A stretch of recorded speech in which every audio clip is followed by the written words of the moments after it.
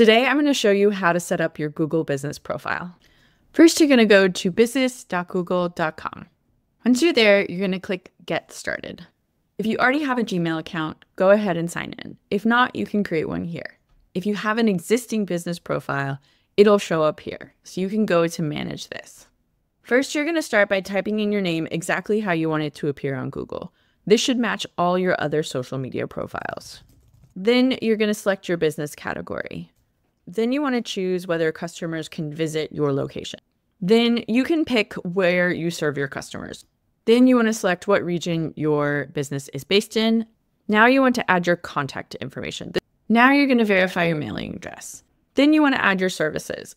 Then you have the option to add business hours. Now you want to add a business description. Because Google Business is owned by Google, keywords are going to show up in search results and on maps. So it's really important that you use a description that accurately describes your business in ways that people might search for it.